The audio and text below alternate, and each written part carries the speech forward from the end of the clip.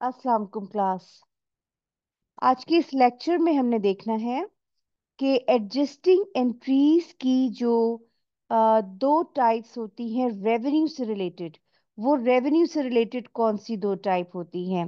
Basically adjusting entries total four types की होती हैं। दो एक्सपेंसेस से रिलेटेड होती हैं जो कि हम लास्ट लेक्चर में डिस्कस कर चुके हैं।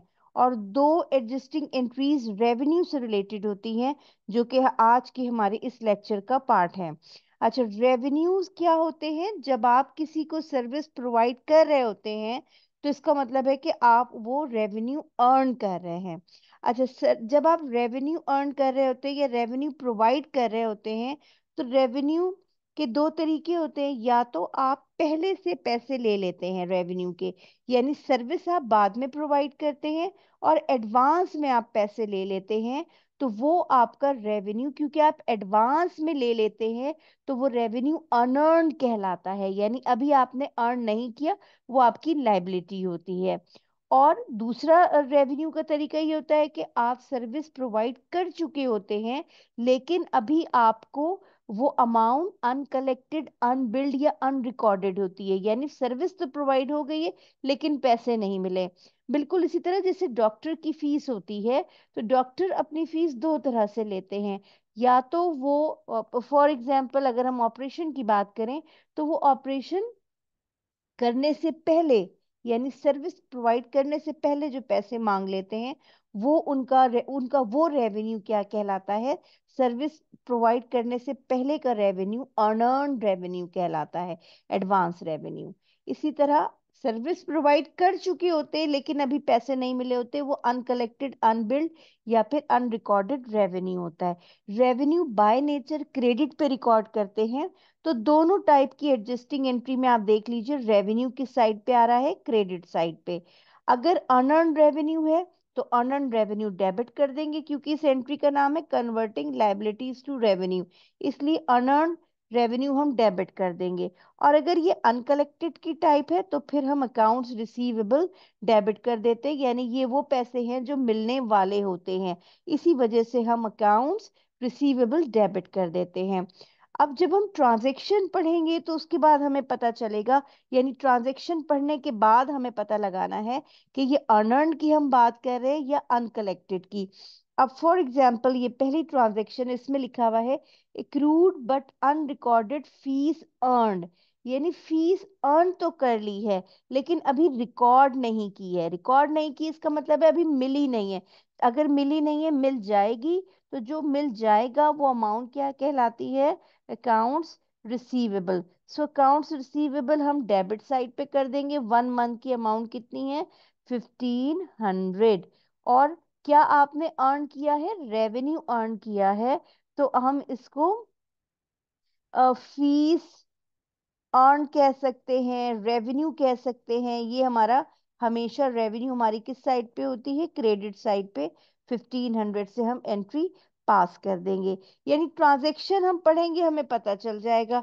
अब फॉर एग्जांपल यहाँ पे लिखा हुआ है record show that twenty five hundred of cash receipts originally recorded as unearned fees यानी यकीन अर्नर्न का मतलब है, पहले ये क्या हुआ होगा?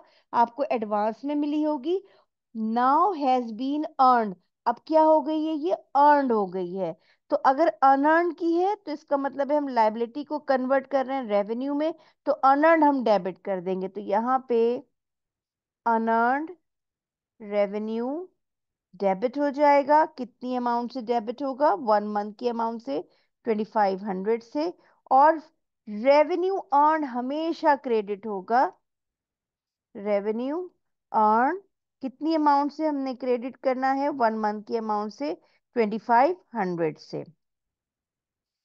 इसी तरह एक और एग्जांपल है, record shows that 4400 dollar in studio revenue has, had not yet been billed or recorded यानी अनबिल्ड है अनरिकॉर्डेड है तो इसका मतलब है रिसीवेबल्स की बात हो रही है। अभी पैसे नहीं मिले, मिलने वाले हैं। तो जो पैसे मिलने वाले हैं, वो क्या कहलाते हैं?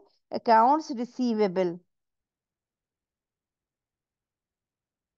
अकाउंट्स रिसीवेबल हम कौन सी साइड पे लिख देंगे? डेबिट साइड पे। और कितनी अमाउंट की बात हो रही है? फोर्टी फोर हंड्रेड डॉलर की। और ये पैसे क्यों मिलने वाले हैं? क्योंकि आपने सर्विस प्रोवाइड की है। स्टूडियो रेवेन्यू अर्नड या सिर्फ़ स्टूडियो रेवेन्यू भी लिख दें तो काफ़ी है। ये हो जाएगा आपका क्रेडिट। कितनी अमाउंट से क्रेडिट हो जाएगा? फोर्टी फोर हंड्रेड से। लास्ट ट्रांजेक्शन हम पढ़ते हैं। Record shows that 3600 of cash receipts originally recorded as unearned revenue यानी पहले ये लाइबिलिटी रिकॉर्ड किया था। तो अब हम लाइबिलिटी खत्म कर देंगे। Unearned revenue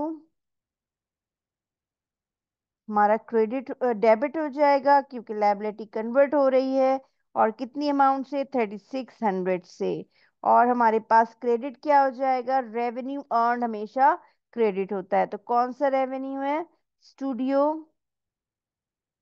studio revenue earn कितनी अमाउंट से हो रहा है ये हम कर देंगे क्रेडिट साइड पे। और ये हो जाएगा thirty six hundred dollar so class हमने ये देखा कि अगर एडजस्टिंग एंट्रीज रेवेन्यू से रिलेटेड हो तो वो दो ही तरह से हो सकती है। या रेवेन्यू आपने एडवांस में लिया हुआ है, जो कि अनर्न कहलाता है, या रेवेन्यू आपने अभी कलेक्ट ही नहीं किया। अनकलेक्टेड अनबिल्ड अनरिकॉर्डेड दोनों सूरतों में रेवेन्यू हमेशा क्रेडिट होगा। अगर अनर्न टाइप होगी तो अनर्न डेबिट हो जाएगा। अनकलेक्टेड की टाइप होगी तो रेवेन्यू रिसीवेबल्स या अकाउंट्स रिसीवेबल डेबिट हो जाएगा। So that's it in this video इसकी एडजस्टिंग एंट्रीज की डिटेल वीडियो मैं आपको लिंक में शेयर करा दूँगी, जिसमें हमने फुल फ्लैच क्वेश्चंस किए हुए हैं इसी टेबल की uh, मदद से। So that's it from this video take care class